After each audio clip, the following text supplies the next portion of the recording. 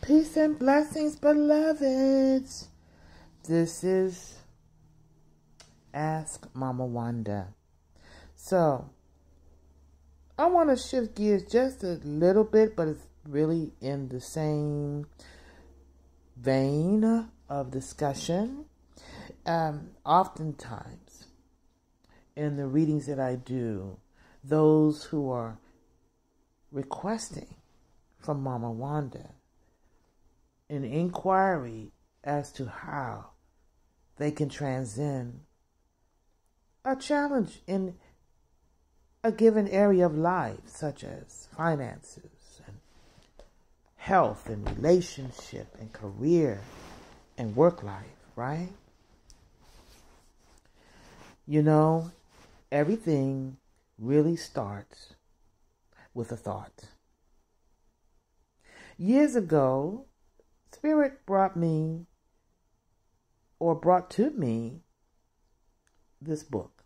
And I actually have, I don't say I have an extensive library, but I say I have a library of information from scholars and spiritual teachers dating back to the 1800s.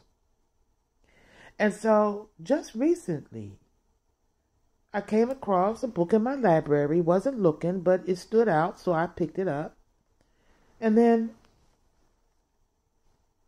as I navigate some opportunities, because I say, I don't say challenges, I say opportunities, I'm reminded of the information that this, this book provides. You see, there's a solution for everything.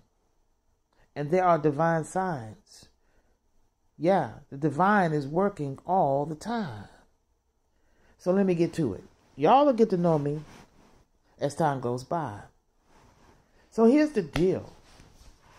When people ask Mama Wanda for for clarity and confirmation on any area of life, one of the things that I want to remind you of is our thought life. Our thought life. The bottom line is, is anytime, you know, I'm preparing to do a counsel or a reading with someone, eh, I do a little research about that individual. I'm not asking you any questions other than the day you were born, the time you were born, where you were born in the world, and from that information, the divine has made me aware of tools and resources. Okay?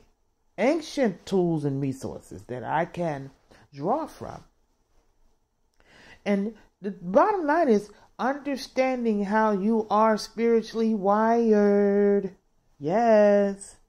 Because here's the deal when you are born into this planet, is it not true that we're each raised by our families and by the impressions of the world mostly because of the images that we see, the things we hear. I think from the age of zero to seven, most of your major beliefs as a child are embedded. Mm-hmm. And you're operating from these recordings, okay? These conditionings. You're taught and learn how to operate your physical vessel, your physical avatar you're taught how to use your physical um, sight, seeing, smelling, touching, hearing. You understand? But you're not raised to understand how to operate your spiritual senses. Clairvoyance, clairaudient, clairsentient, claircognizant. Some of y'all ain't never heard of clairs except for clairvoyance. And you may have your own interpretation of that. And you might even be scared of that idea. But the bottom line is you're a spiritual being, baby. Okay? And that's where spiritual awakening begins to occur when you realize you this is there's more to life than going on and that as you operate in that physical body you open up to your gifts. Some children are born, all of us are born not just as the physical avatar, but the beautiful spirit a replica, a replica, a drop You are an essence of that that created the whole universe. Let's sit there for a minute. Can you get your head wrapped around it? Which is beyond what we're told when you come out the womb. You're told how to think. You're told who you are. You're told what to do. You're a walking masterpiece that hasn't even tapped into the computer or the coding of from the creator. So thought. Let's go to thought. So the law of mentalism, right? Uh, I was just talking to a family member and her son, my nephew, is young in college age and having challenges. He feels like he should be far along than he should, and da da da da. And a lot of that sounds like comparing himself to the outside world, as opposed to recognizing the beauty of the gift that he is encoded with.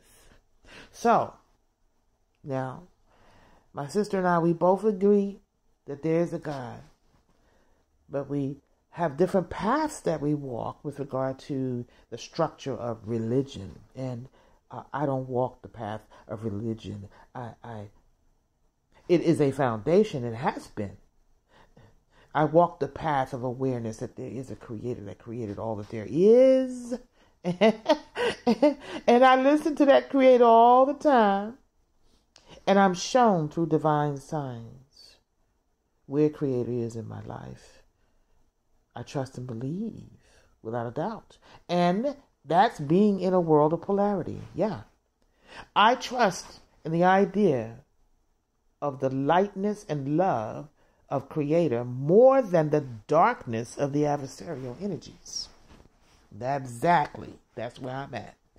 So I was telling my sister about this book, The Law of Mentalism, and the it's about the power of thought. Hmm?